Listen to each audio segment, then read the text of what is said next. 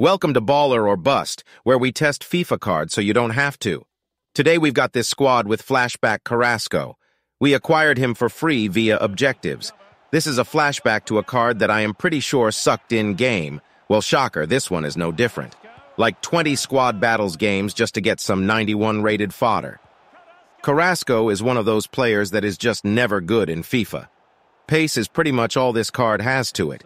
If you need coins, U7Buy code ZADE 6% off. His shooting was so bad, would miss so many easy chances and even green-timed shots, most of the time shooting right at the keeper even if you aim corners. His passing was fine. Doesn't have great long passing, so useless there too. He's got a high and average body type, which is the body type most center backs have. Nice. No wonder he feels like a GTA dump truck. Not like those street racers you can hear outside on all my Twitch streams. High defensive work rates, but he's got 48 defensive awareness. Dude spends the entire time standing on the sideline talking to the chicks in the stands because he doesn't know where he's supposed to be.